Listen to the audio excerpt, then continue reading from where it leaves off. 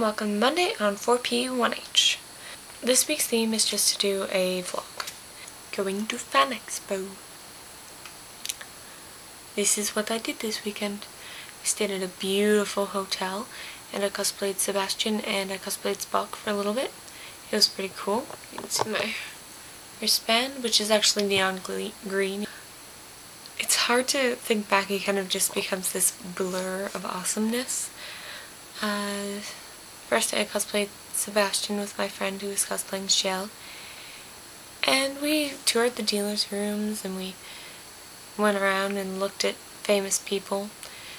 I saw the person who played Uhura in the original Star Trek. Um,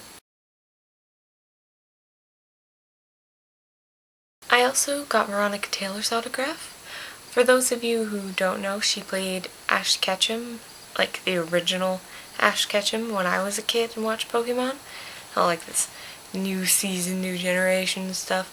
Ash is always 10, that's always funny. I think it would have been really cool if I'd been able to get Pikachu to get signed. But at the same time, I don't think Pikachu would like being written on. She wrote, Taylor, follow your dreams. Veronica Ash Taylor.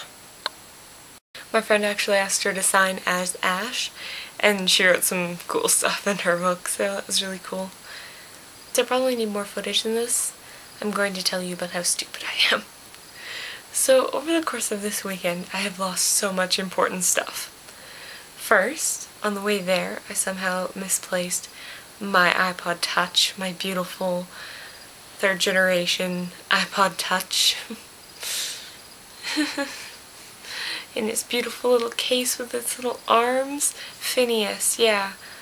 I, I have no idea how it happened. I must have accidentally taken him out and just left him somewhere. And it happened before I even got to the fan expo, which is surprising because that's usually where I'd lose something. But yeah, I'm worried about it because like email and Facebook are all signed in on him. I changed my Facebook password, but I don't know if that changes anything. It's, it's a little scary because your email and stuff, it, it connects you to every single account you have on the internet. So I'm a little bit concerned. Sitting in the hotel, uh, in the mezzanine, I don't know if that's how you say that, and just texting at a table, and I took my wallet out to get my cell phone out, and just left it. I just left my wallet with all my money and my debit card and everything in it, just on a table. Or on the chair, I'm not even sure because I didn't get it. And then I went downstairs and was sitting there and then these two guys came up to me they're like, oh, I recognize your costume and did one of you guys leave a wallet? And I was like, eh.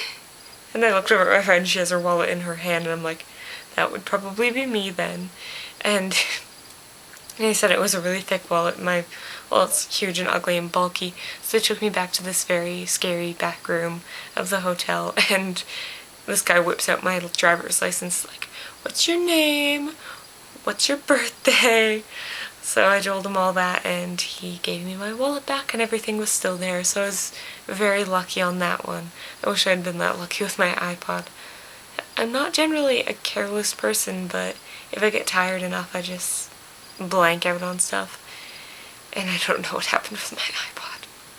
Thank you for listening to me complain uh, about losing things. I will see you guys next week.